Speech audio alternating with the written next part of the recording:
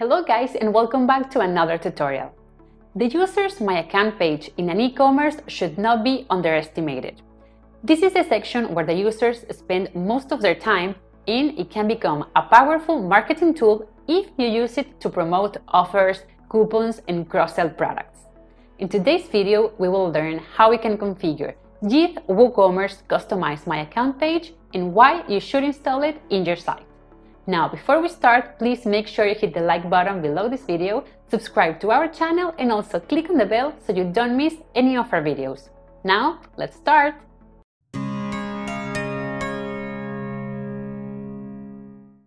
Here we are inside the demo of our plugin YITH WooCommerce Customize My Account page, a very useful plugin that can help you turn your store into a powerful marketing tool.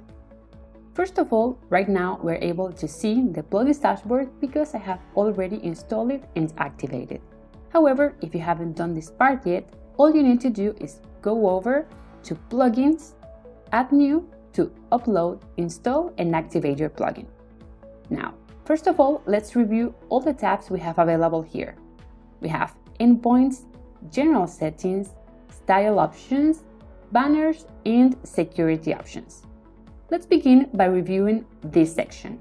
As the name indicates, over here we will be able to find all the endpoints available in your customer's My Account page. After the plugin is activated, here you will see the default WooCommerce endpoints. For example, dashboard, my downloads, edit address, all of the ones you see here.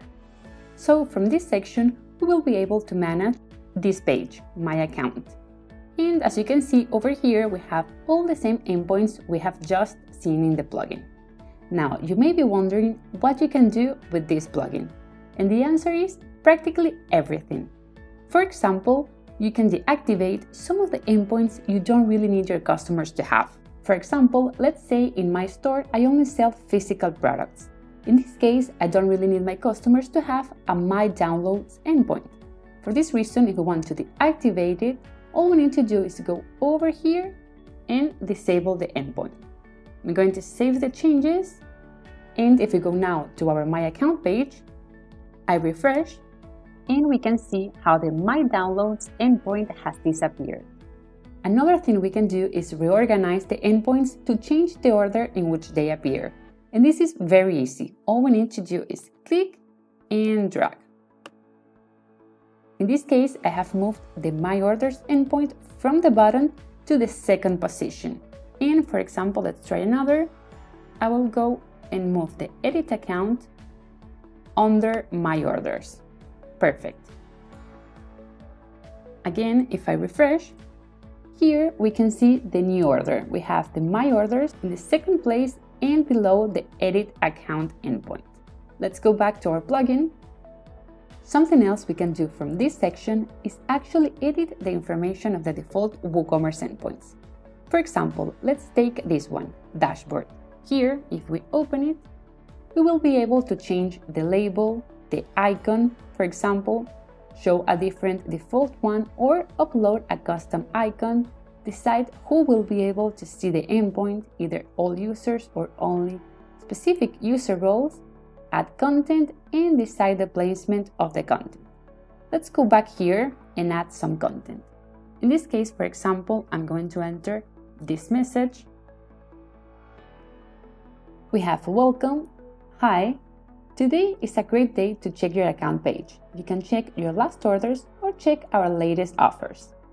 Now, if I go back, first of all, we can see here this placeholder that you will also find below here. And this placeholder will actually help you show the customer's name. Then if we go down, you can see we have included two different links. One to the latest orders and another one to the latest offers. This is actually a great idea to push your customers to interact more in your store. For example, they can visit products and check out any special offers you may have.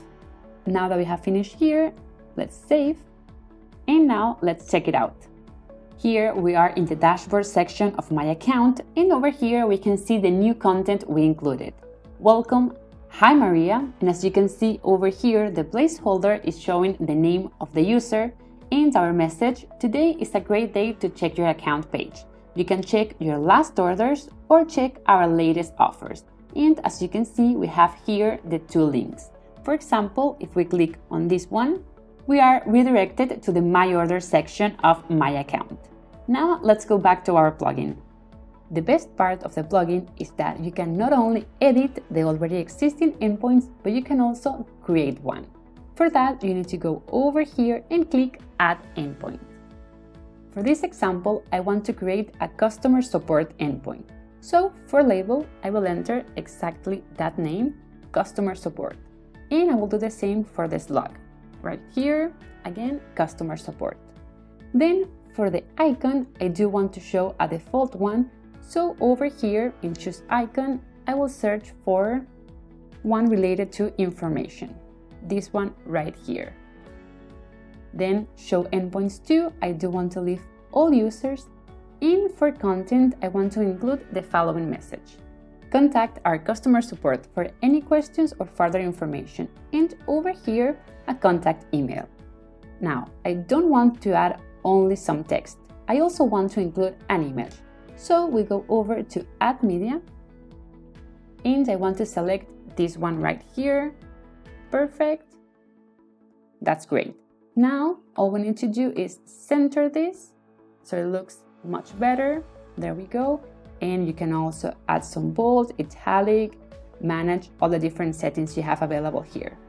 But I believe it is ready to go, so I'm going to add the item.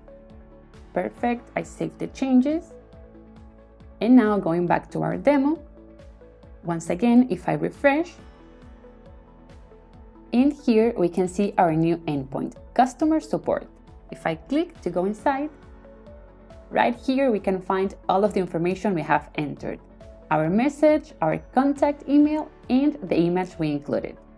Now let's go back to our plugin because next I want to show you another awesome option, the banners. If we go over here, from this section, you will be able to add as many banners as you want to include in the different endpoints you have available.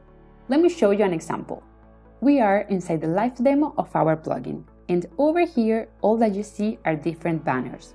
You know, the default WooCommerce My Account page can be a little bit boring, so having the option to include this type of banners can provide your customers a much better user experience and also allow them to understand what they can do in their page. Now that we know what are the banners, let's create a new one. For that, we go over here and click Add Banner. First of all, I will enter the banner name. In this case, I want to create an orders banner, so I will enter that for the name, orders. Next, we can decide on the banner icon. Either don't show an icon, show a default one, or upload a custom icon. In this case, I want to upload a custom one, so we click here and now let's go over to upload. And this is the one I want to enter, so I just choose the image there we have it. And I'm going to leave the width as it is. Next, for the widget text, I'm going to enter this message. Check your order's history and download your invoices. Below this option, you will be able to manage the banner colors from this section. And then we have this option I want to show you. Show batch with dynamic count of items. In this case, I want to enable this option over here in show batch with dynamic count of items, I want to select from these options the orders. Then if we continue, over here we see this option, banner links. In this case, you can decide to don't add any link, link the banner to a specific endpoint or to an external URL. In this case, I do want to link the banner to a specific endpoint and over here, we're going to select in this option to link our banner to my orders. So we select this option and now it's all ready to save. Now what we need to do is actually associate our new banner, which is right here, with one of our endpoints. But first of all, we need to save our options. Okay, now let's go back to endpoints and I want to add our banner into our dashboard. So I'm going to open here and if we scroll down over to content, here we have the option to add the banner. So I'm just going to go below our text and I'm going to click this button to add the banner.